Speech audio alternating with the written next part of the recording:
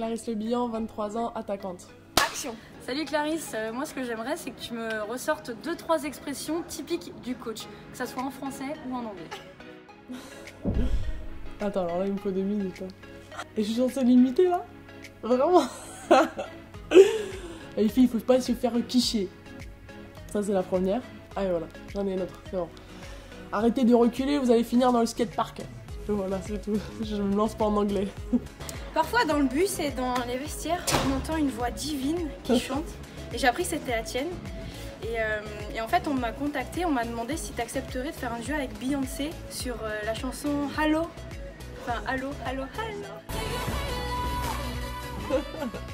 L'interprétation est très moyenne. Non, mais c'est vrai que je chante souvent mais pour leur plus grand plaisir. Non Non, faut que je sois dans le bus ou sous la douche, mais c'est normal.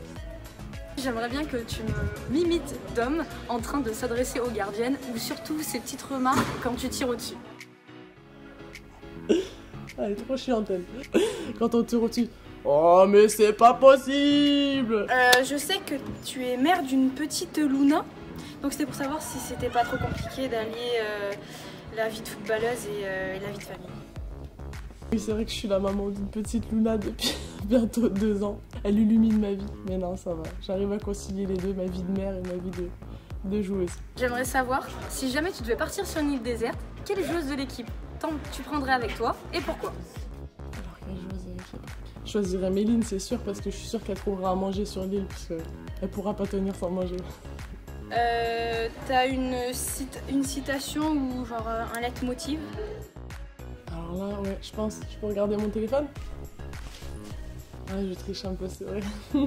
J'en ai plein en fait, j'ai- j'aime trop ça. Donc euh, là, faut que je choisisse. Si je suis pas trop longue. En fait, il faut que je traduise de l'anglais aussi.